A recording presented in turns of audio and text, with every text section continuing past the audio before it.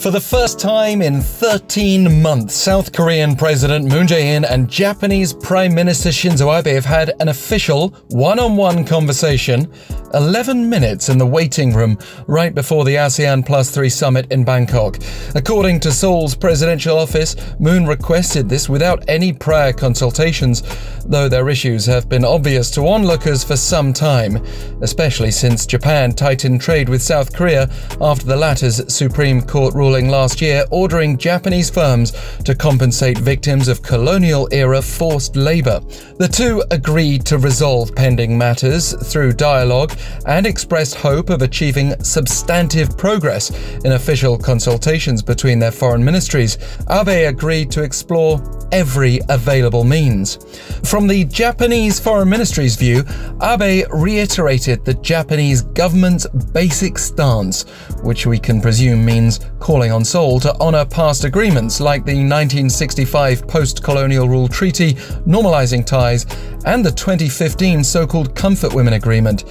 That agreement was undone under the Moon administration after complaints by former sexual slavery victims.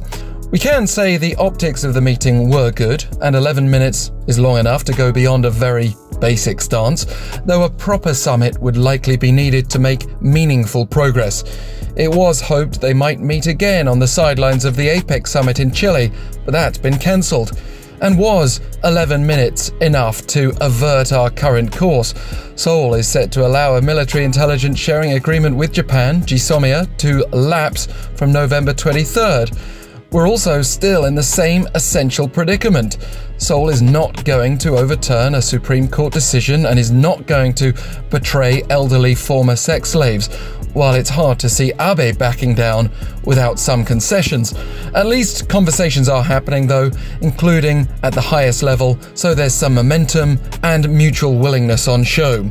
And President Moon has used the platform of this ASEAN summit to address the need for stronger economic ties beyond Japan, in the face of what he called the return of a violent wind of protectionism.